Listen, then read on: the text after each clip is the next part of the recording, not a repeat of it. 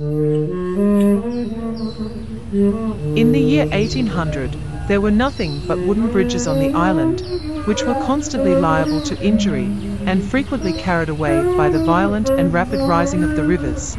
There are now four very substantial brick and mortar bridges completed, and another just commenced. The foundations are composed of stone. These were constructed by the Waktu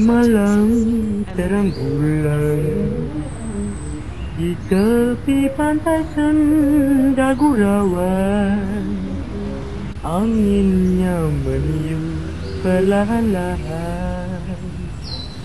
Air laut berkilauan Terlihat ombak nan berlalu